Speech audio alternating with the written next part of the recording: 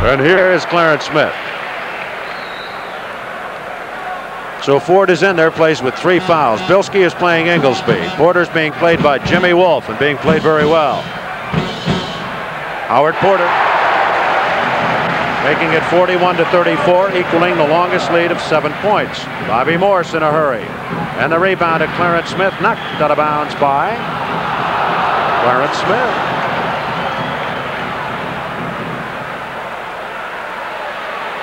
Or was it? No, now it's Chris Ford with the ball. They called it one way and then changed it. All right, Smith played by Morse. Wohl is playing Ford as they run that high post with the guard at the top of the key, and they screen for Porter, who is going to go on Jimmy Wolf. The follow shot is no by something Smith. He gets it back.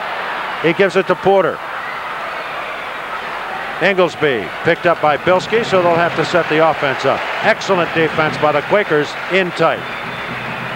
Yes, it was, and good control by Villanova. They didn't rattle. They came out and reset.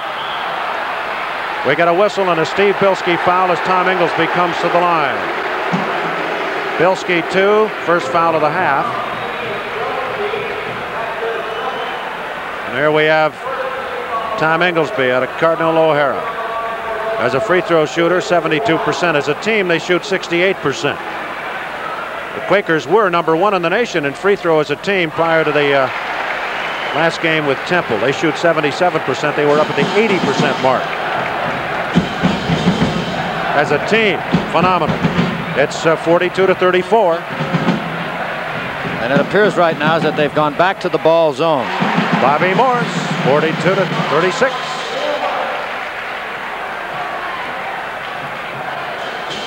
Penn with some all-court man-to-man pressure. Penn will zone press, but will not play a zone defense.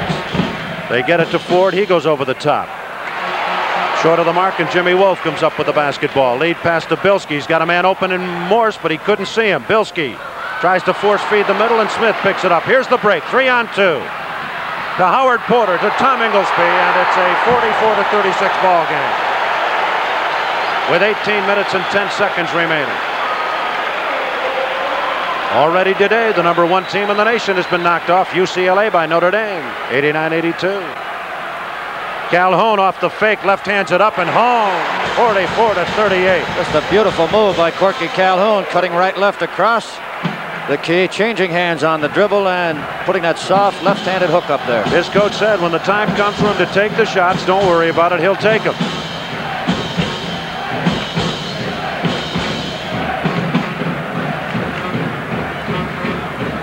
That's Ford. Short of the mark, and Jimmy Wolf with another rebound. Jimmy's got six boards. Bobby Morse comes down, goes up, scores! It's 44 to 40, and Bobby Morse has got eight points on four buckets. Every time the Wildcats look like they just might spread it open by double figures, the Quakers come back as Smith short of the mark, and Morse grabs the rebound.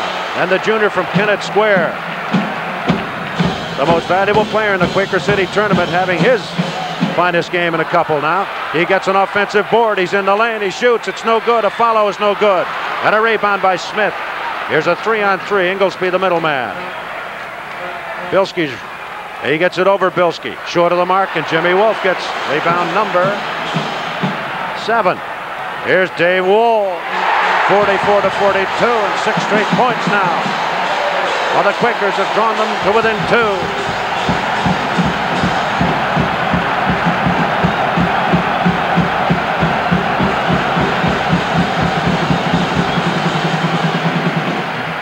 Siemiontkowski gets inside. Calhoun on him.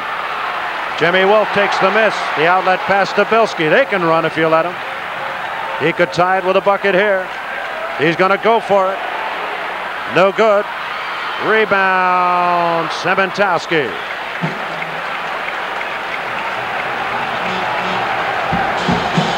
Fifteen minutes, 59 seconds. Timeout's been called. The score: Villanova 44, Pennsylvania 42.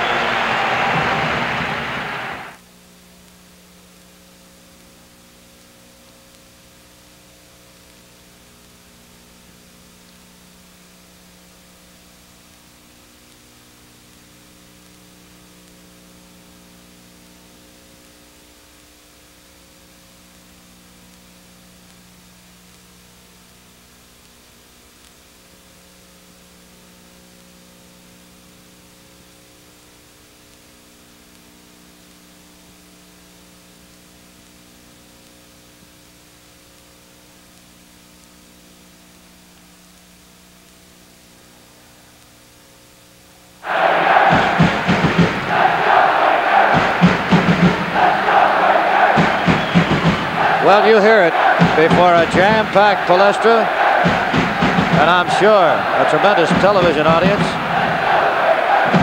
Pennsylvania and Villanova in the game people have waited to see ever since the Palestra schedule was published this year. And right now, very little to choose. Villanova by two at 44-42. A lot of time left, 16 minutes. As you looked at the pluses and the minuses of this game, it came up even. And that's pretty much the way the game is coming up. Siemiontkowski tries to get it to Porter, but Bilski makes the play. He did. He made a diving interception of that ball and knocked it loose. Here's Morse. It spills out on him, and Porter grabs the loose ball. Rebound number nine. Ooh, that's close. Siemiontkowski had a very fine first half.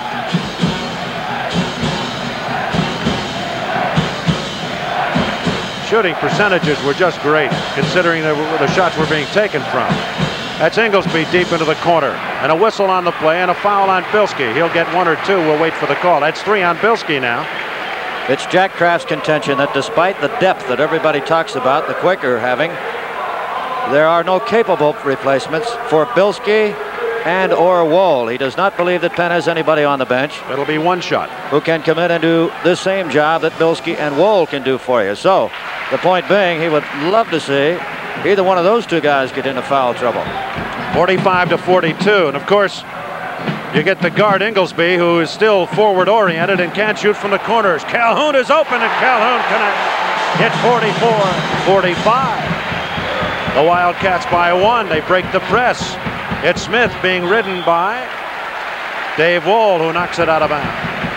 15.01 showing on the clock, and one point separating these two fine clubs. You're watching two of the best clubs in the country, make no mistake about it. Smith 47 to 44.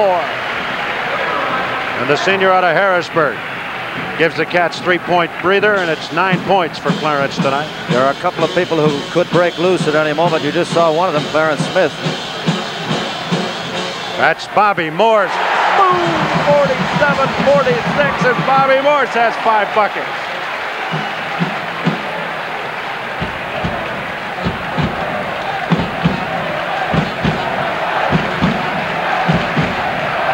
Now they're trying to work to Porter, but Siemiontkowski misses the shot, and we got a foul here.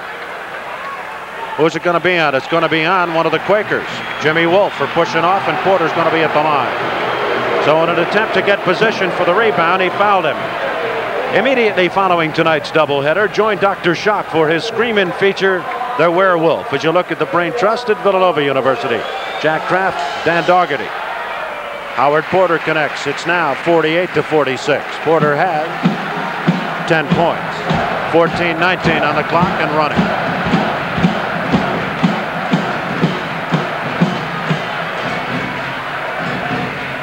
What a magnificent basketball game in all respects. Here's Dave Wolf feeding Jimmy Wolf, blocked by Howard Porter, but a whistle. To be a foul on Porter.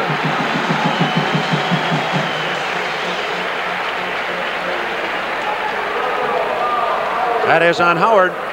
Personal foul number two, and only the first team foul against the Wildcats as Jimmy Wolf comes to the line. He has scored four points. 0 for 1 at the line thus far. We've talked about Dave Wohl's shooting, Al, but I think we also ought to mention the fact that right to here, he has done an excellent job on Chris Ford. Really holding him in check. We have a tie ball game. A tie game. The Quakers down by eight at the top of this half have made it up. And it's now 48 apiece. And Dave Wohl has caught hacking Tom Inglesby. So that is number one on Wohl and number four on the University of Pennsylvania. Much to the chagrin of the gentleman down there that you're looking at. Inglesby gets one. Time 13 minutes and 58 seconds. Villanova by one, 49 to 48. Inglesby with 13. The Quakers have not had a lead. I'm just thinking, I don't think they've had a lead any time in the ball game here as I check my stats. Maybe once early.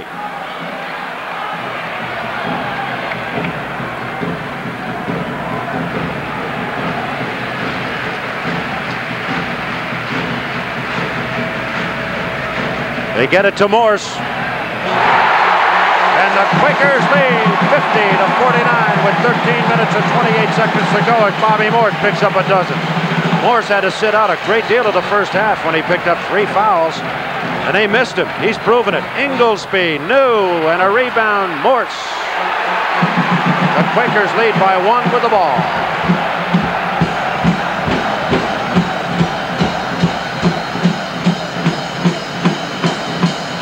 Wohl goes through and no one follows him, so it's the ball defense. Now Wohl breaks the seams of the zone and connects 52 to 49. Wohl has 16.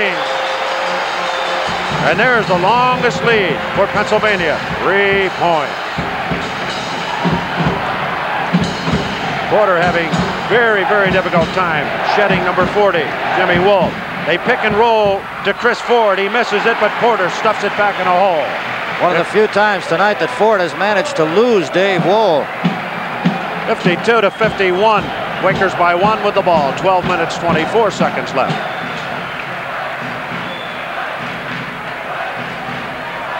Bilski drops it off to Calhoun. Steve had a shot.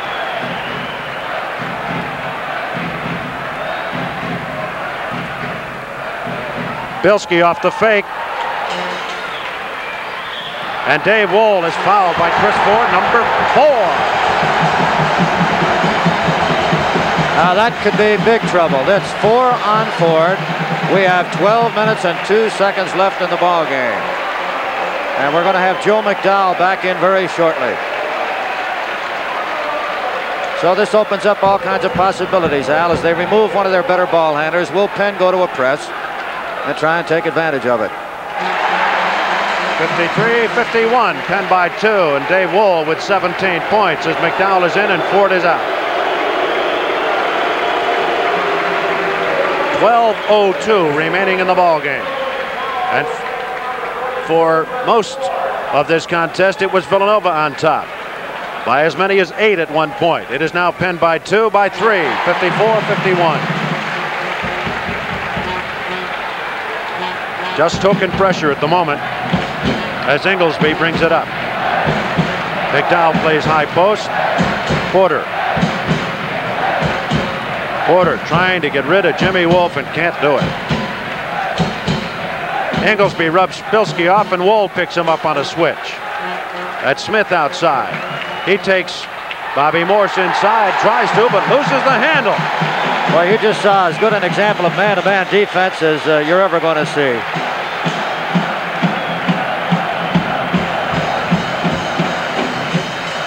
Bobby Morse.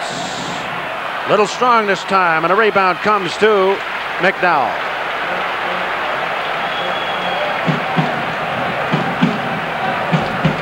Penn has not had to go to its bench yet here in the second half. Smith and Morse. Wolf on Porter, Calhoun on Siemiontkowski. Bilski on Inglesby. That's what you're watching right there. Porter over Jimmy Wolf. No. Follow shot is not there as Bobby Morse cleans the board. Timeout's being called by Penn before the shot. Timeout with 10.56 showing on the clock. Penn 54, Villanova 51. We're going to be back in a minute.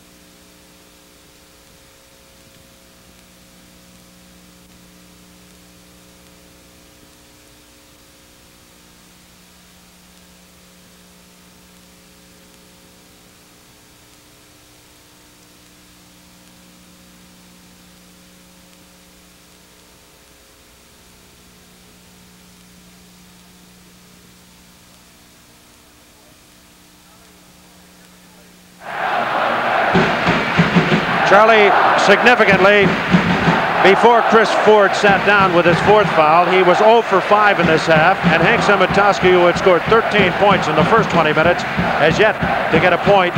and we've got 10.56 remaining in the second half. So there's the answer right there. Defense. Exactly right. Those man-to-man matchups have been outstanding for Pennsylvania. Dave Wohl. Bobby Morse guarded by Siemiontkowski. It's man-to-man. Yes, it is. Calhoun gets position on Smith, and Smith makes the play. Calhoun gets it back, fires over his head. An amazing shot! An amazing shot by Calhoun! Well, I think, he's an, I think he's an amazing basketball player. I don't really believe the people in Philadelphia know yet what Corky Calhoun can do. 56 to 51 on that one. Inglesby answers. It's 56 to 53. That's got to go down as the shot of the season, doesn't it? It was something to see. Dave Wohl and Inglesby fouled him as he got a step on him. WPHL TV, Channel 17. Your station for sports. We're very pleased to be able to bring you this contest tonight. This is Al Meltzer along with Charlie Swift as we have presented a couple of games of import. One that went to Niagara 77-76 and you couldn't get much tighter than that. And here's one at the moment, it's 57-53 Penn, but there's still 10.03 left on that clock and a long way to go. As you look at the two benches, Harter on your left, Kraft on your right.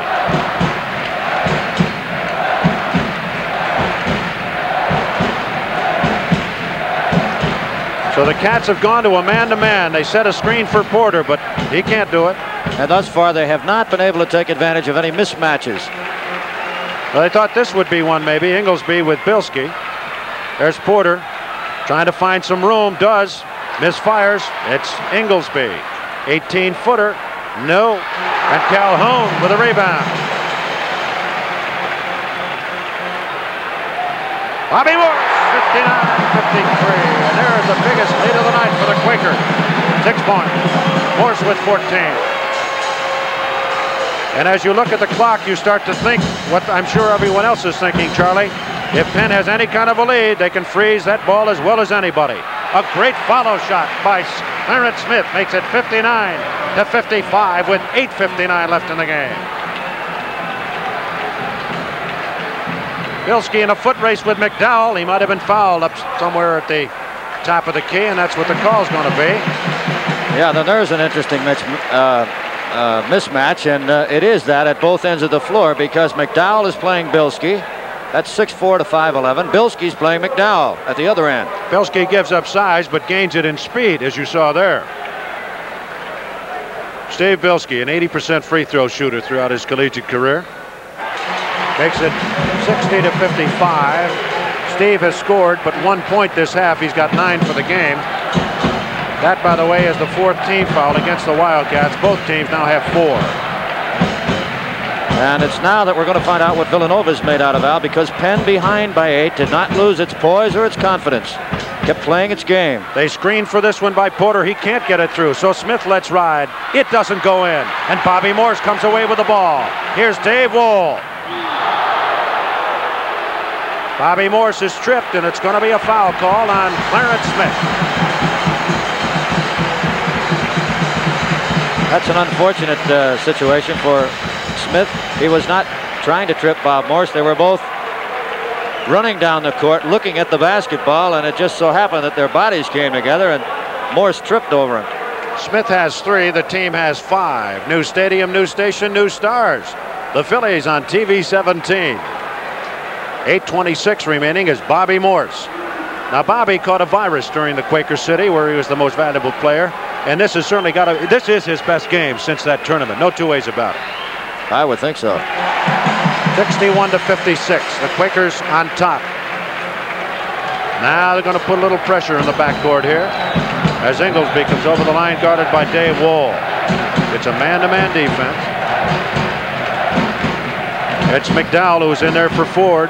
McDowell takes Bilski in the hole. He's short of the mark. The rebound by Calhoun. And now the Quakers own the backboard in this half. Checking out beautifully. Eight minutes coming up, 61 to 55.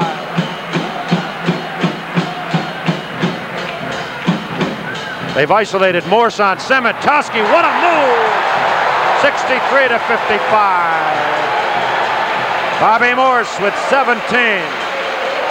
And Chris Ford's going to report in at the next opportunity. Offensive foul on Clarence Smith. That is the sixth Villanova foul. Timeout has been called by Villanova with 7.37 remaining, and that's the story right there.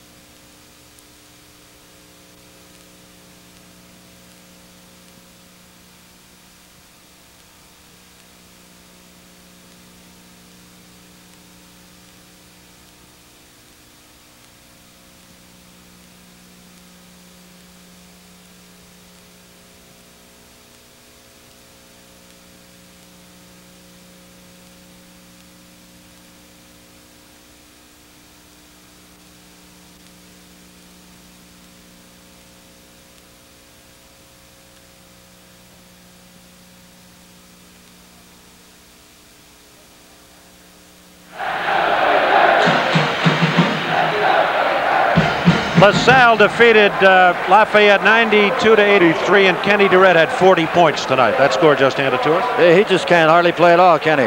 Now that, by the way, is a wildcat with some arrows through it. Yeah, there it is. And it may well happen. There's 7:37 remaining, and the cat is down 63 to 55, and the Quakers have the ball and the lead. And you know what they can do with that basketball when they've got a lead. They can sit on it just as well as anybody I've ever seen. Now they can be deliberate, do whatever they want. Bilski almost penetrating, changes his mind. Wohl, and here's the man-to-man defense. He's got Inglesby on him. And he may have lost it. No, it's off Inglesby. He was screened away. Well, if you look for turning points in a basketball game that is not over yet, just check as Bilski makes his way in and he's fouled by McDowell. It's going to cost him two shots. I can't make this point strongly enough, Al. Uh, when you have a 5'11 guy playing a 6'4, you expect that they're going to take advantage of it. It has worked just the reverse. Penn has taken advantage of the fact that McDowell is playing Bilski. Bilski and, much faster, of course, than McDowell. Yes, and much yet quicker. Villanova has not been able to come down the other end and work to McDowell over Bilski. I was going to say, at the top of this half, Villanova opened up a fast eight-point lead. The Quakers never lost their poise, eventually gained the lead. Here sitting on a 64-55 lead, and now it's up to the Wildcats to see if they can't come back. 65-55, your longest lead of the night by either team, 10 points, and the Quakers have it with seven minutes, seven minutes to go.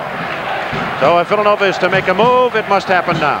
And that's Porter at 15 feet.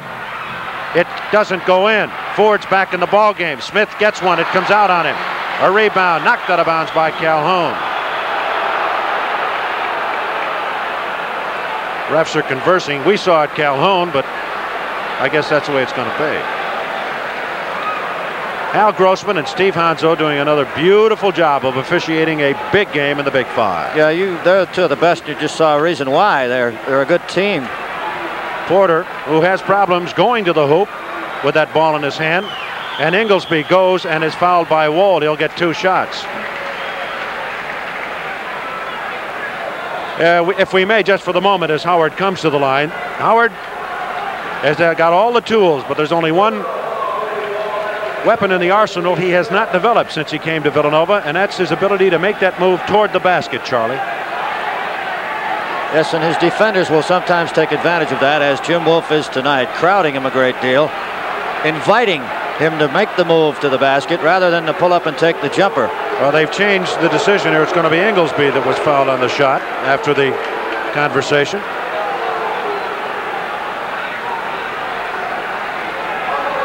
And while we're talking about the man-to-man -man by Pennsylvania, the individual matchups and the jobs being done, do not forget that Jim Wolf has played Howard Porter and played him very tough. Inglesby gets one more. Oh, yes. Howard has taken a dozen shots tonight. He scored five field goals. 65 to 56.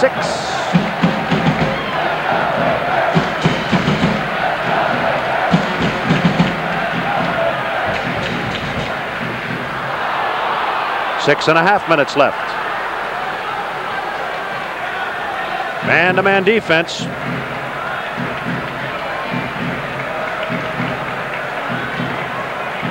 Penn Can't give to Bilski uh, too much room. He can shoot from outside as well. They appear to be almost ready to start spreading it out a bit, Al, even though there's a lot of time left.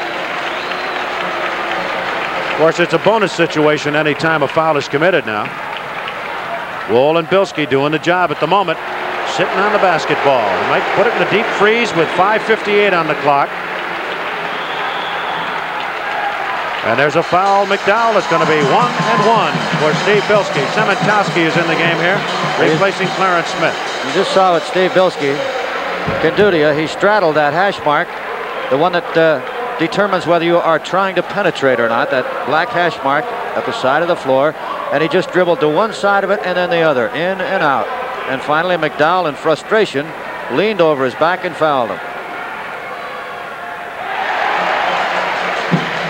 And now you're starting to see the replay of an old familiar tune here at the University of Pennsylvania Palestra. And that's the Quakers Bilski or Wohl on the line late in the game, trying to fatten the lead at 66 to 56 with less than six minutes to go.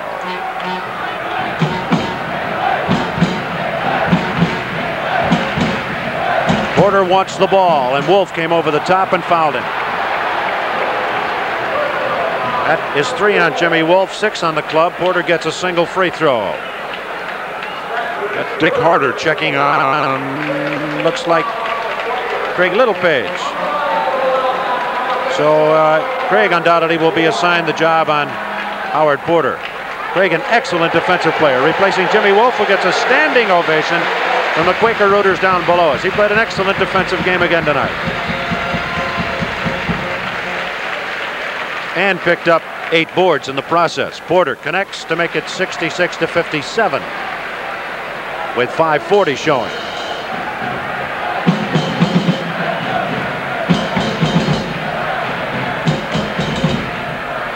They sneak Calhoun inside. Corky with a blind shot this time, no, and Porter grabs the rebound. The last time Corky tried something like that, it went in the hole.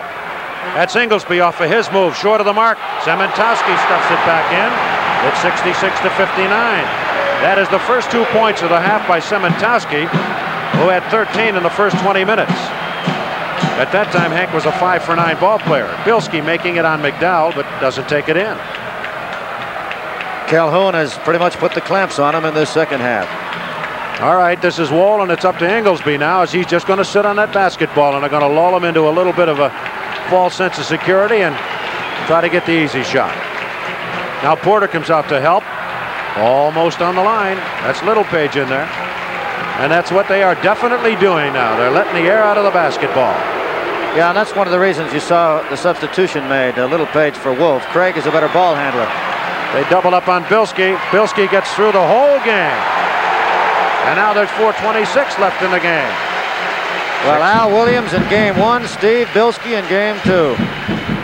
That's Dave Wohl sandwiched in, and Calhoun has it. They're going to put it away if they can with the stall. McDowell got a hand on it and knocked it out of bounds. So with something less than six minutes to go, Penn decided to sit on it a little bit. Go for nothing but the good shot.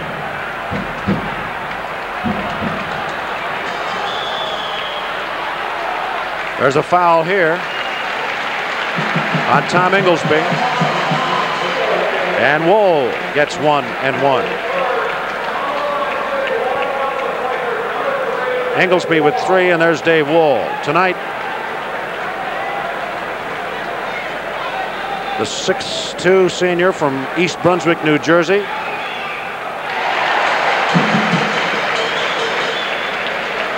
Has done it as he has done it so often in his three years, and this kid's just got to play professional basketball for somebody. That's all. 67 to 59. Timeout being called by Villanova.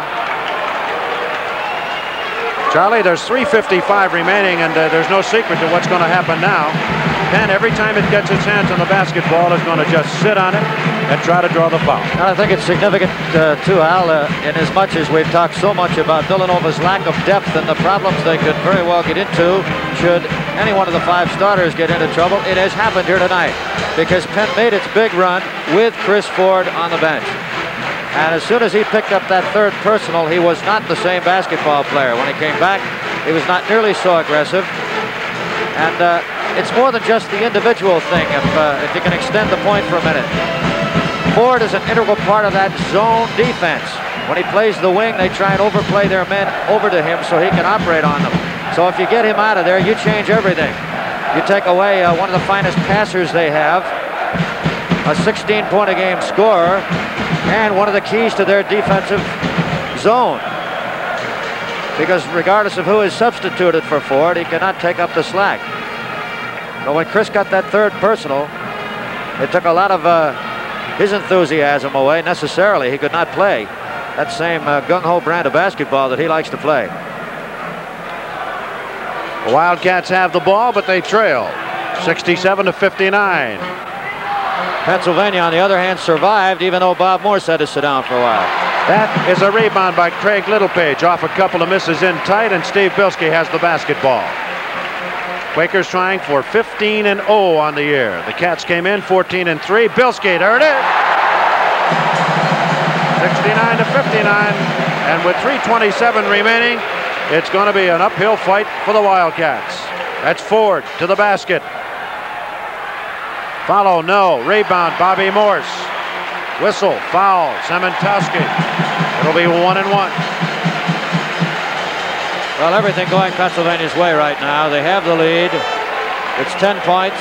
They have the clock working for them. They have two of the best guards you'll ever find at letting the air out of the ball. But I think what has impressed me most of all about Penn tonight, Al, is the fact that they have demonstrated once again that regardless of who they're playing or what the situation, they get behind or what have you, they keep their poise. This is about as poised, as calm and collected a basketball team as you're ever going to see. A 70-59 game, and the Quakers with 3.16 to go, looking good. It's 18 points for Bobby Morse. Remember now, Bobby set out a lot of that first half with three personal fouls. 71 to 59. He's got 15 of his points in the second half. They get Smith in tight. He feeds Siemiontkowski. 71 to 61 with 303.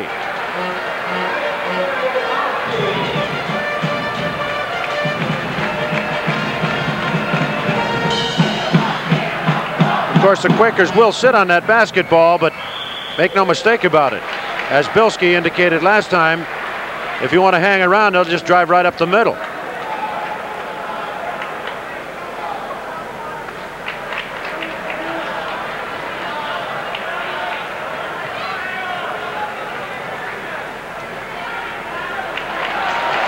Steve Bilsky out of Roslyn, New York. And you're getting an idea now why Jack McKinney is going to be so glad to see those two guys graduate. Boy, they're murder. Yeah, he can't say enough about them. That's broken loose by Inglesby. And Smith did not know Inglesby was there for the pass. Siemiontkowski, no. Followed by Porter is good, and it's 71 to 63 with 2 minutes and 14 seconds remaining.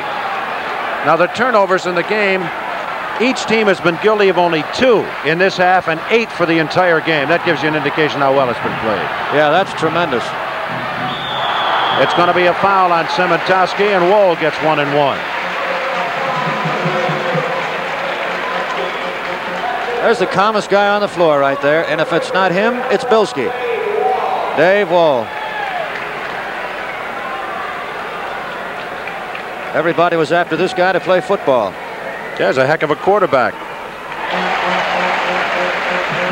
72 to 63, and Wohl has hit 21 points in the game of the year. And 22, and it's back to 10 points, and there's two minutes and one second showing.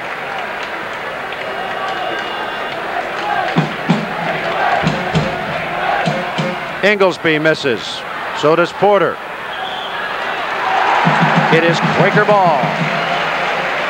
Some of the fans are starting to leave now, figuring the Quakers, with a minute 51 remaining, sitting at a 10-point lead, aren't about to blow it here. And the Cats can do nothing but gamble. Leading 42 to 34 at the opening of the second half. Villanova could not take advantage and sustain. Full court to Bilsky. Good. And a foul. And Smith is hurt. I sincerely hope not badly. Uh, he made just a super effort to head Bilsky off at the pass. He is out of the game with his fifth foul, but the important thing is, is he okay? He hit the support of the basket after he clipped Bilsky on the way in. That's Jake Nevin down there, the trainer looking at him. And even though it's padded, you get a pretty good jolt if you run into that thing full tilt. I think uh, padded is uh, a misnomer, Charlie. You ever get next to it and give it a good slap, it doesn't feel any different than lead pipe. Well, he hit it pretty hard, so we hope Clarence Smith is all right. I guess he's okay, it appears here. Good tight shot. Ron Bird, camera number three downstairs. I'm sure he's very disappointed, of course. Uh, his team is trailing, but he's okay. He's also out of the game with five fouls, and Bobby Gohl will come in to replace him. Gohl from Upper Darby. Well, you can appreciate the frustration. Clarence Smith, a senior on this club, one of the two, had not beaten Pennsylvania before this game, wanted very badly to do it, and it's not going to be. Two years ago, this guy at the line threw in a buzzer beater in a stall game in which Penn upset highly favored Villanova 32 to 30. Last year, the Quakers convincingly knocked off Penn 59 to 55 in somewhat similar a ball game in which they sat on it, had it pretty much a control in the late going. It's 76-63. Quakers have the basketball with a minute 39. And I think the drama has pretty much ended here at the Palestra. The Quakers, number four in the country coming into tonight, just might move up a notch or two after this one. Taken away by Siemiontkowski to Gohl. To Inglesby. Open is Ford. Challenges Morse. And Morse beats him. And that's kind of been the story of the game tonight. Not only that, Morse takes the rebound. It's been Bobby Morse in the second half with 15 points, a mess of rebounds, and a great defensive job. We're going to have a jump ball as they peel the bodies off the floor.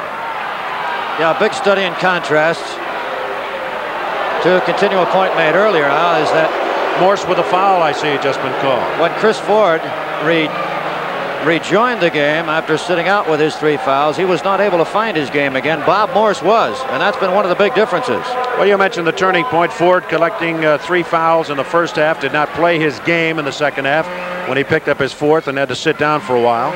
Uh, there isn't much left on that nine-man squad for Jack Kraft to go to. Conversely, during the entire first half, Dick Harter just kept rotating four or five ball players in there to get himself some kind of a combination. Siemiontkowski, and that's the story. They play volleyball, and I think it's Siemiontkowski's basket.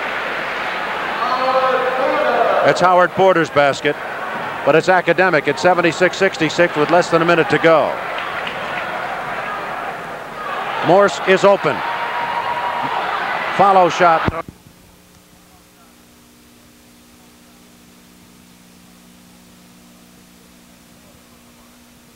He's short of the mark. This is Porter. He connects, but it may be a little bit too late for the Villanova Wildcats because there's only 33 seconds left, and it's 76 to 68. And a foul on Gohl, and Bilsky will come to the line. Jimmy Wolf comes in, and they're going to take Bobby Morse out to a standing ovation. Bobby Morse, who tonight scored 19 points with seven rebounds. And don't forget, he sat out a good 10 minutes of this game. Howard Porter tonight becomes the third leading Villanova scorer, all-time scorer, with 1,649 points, surpassing the great Paul Arizin with that basket right there. Porter has 20 on the night, by the way. And Jim Haney is up off the Penn bench. He's going to come in for one of these two guards, and whichever one it is, you're going to hear some kind of a roar It'll be Wohl probably because Bilsky's at the line. That's going to be the call. Here goes Dave Wohl. Boy, what a ball game he played. So for Dave Wohl, tonight he scored 22 points. It's 77-68 with 30 seconds remaining. 78-68. Little Steve Bilsky's put on an exhibition. He's got 19 points. And he'll be out in a minute because uh, Walters is about to come in. Siemiontkowski. Rebound to Calhoun. Whistle foul. Littlepage. Uh, here comes Billy Walters. Or Bilsky. There goes Corky Calhoun and Keith Hansen is in for him. So the starting unit has left the floor except for Jimmy Wolf. He just came back into the ball game. And for the 42nd time, that starting unit went to the well and came up with 40 wins. They have lost but two thus far.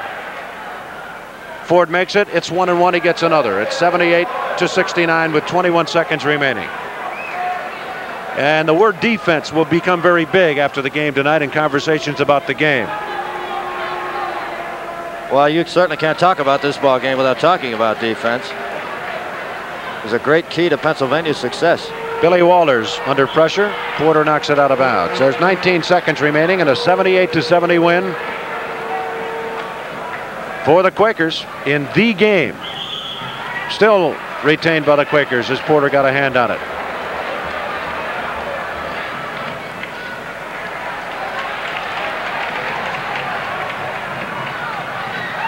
There's Littlepage. Walters, nine seconds. Jimmy Wolf. Five, four. Littlepage fires it up. And there it is. The end of the game. Pennsylvania 78. Villanova 70. And let's catch a little bit of this action before we break away for the commercial message.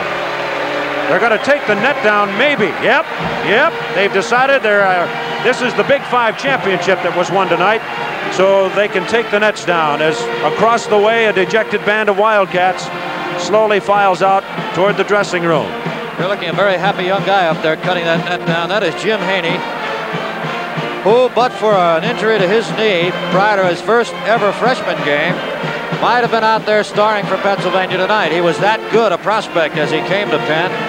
So a very frustrated guy on many occasions for not playing. There's Haney up there cutting down the net as Pennsylvania tonight has successfully defended the Big Five championship. They do it clean, as they say in the game, by winning 4-0, beating everybody that came at them. What you probably missed there uh, on the screen was Howard Porter going over to congratulate the University of Pennsylvania on their big win tonight. It's 78 to 70, the final score. After this message, we'll be back with our statistical wrap up.